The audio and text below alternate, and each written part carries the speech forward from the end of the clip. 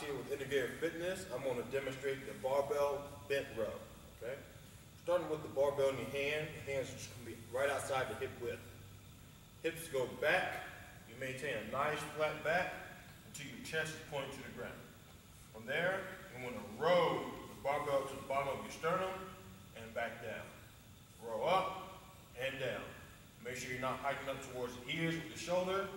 Everything's going down towards the hips. That is barbell bent row.